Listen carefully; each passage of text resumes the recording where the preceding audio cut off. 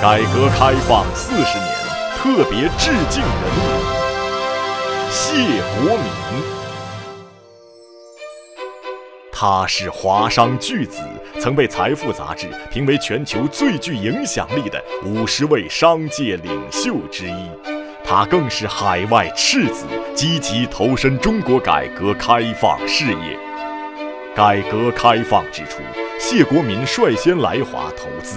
带领正大集团取得深圳市零零零一号中外合资企业营业执照，之后，正大集团相继在珠海、汕头领取了零零一号外商营业执照，成为改革开放后第一个在华投资的外商集团。经历一九九七年亚洲金融风暴，谢国民做出了一个艰难的决定。卖掉泰国境内联华超市部分股份，却保证正大集团在中国的发展。从上世纪九十年代起，中央电视台正大综艺栏目开播，正大集团为更多国人所知。